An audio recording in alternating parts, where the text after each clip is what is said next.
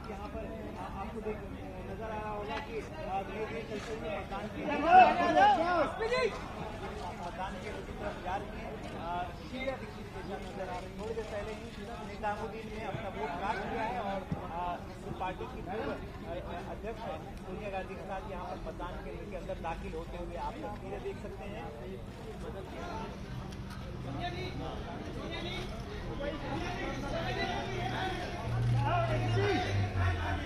हट जा आगे से ओ चमन।